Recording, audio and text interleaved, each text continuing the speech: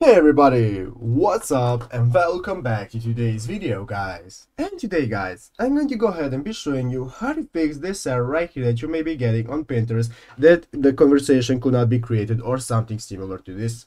This is a common problem that a lot of people get, so I'm going to go through the necessary steps that you need to take to get rid of this error and fix it. But yeah guys, make sure to watch this quick and easy video to the very end and follow my steps correctly so you can make sure this works the same for you and that you can do this yourself. But yeah guys, let's get straight into it.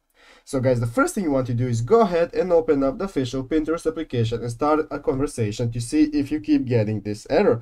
Or if you keep get, using any option on Pinterest and you keep getting this error, then if you can see currently get no error, but if you keep getting this error, then here is what you can try.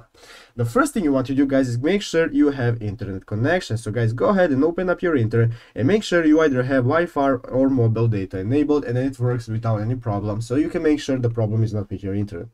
After you have done that, if it still doesn't work, guys, what you can do is go ahead and long hold the Pinterest application and click on App Info.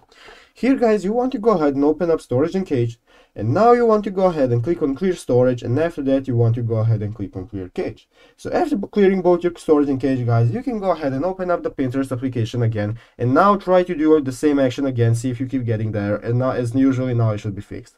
But if you still keep getting there, guys, then what you can do is long hold the application again and go to the Play Store here you want to go ahead and uninstall, uninstall the application Pinterest and download it again. And after downloading it again, guys, go ahead and log into your account. And after logging in, just go ahead and see if you still keep getting that error as this should usually fix the problem.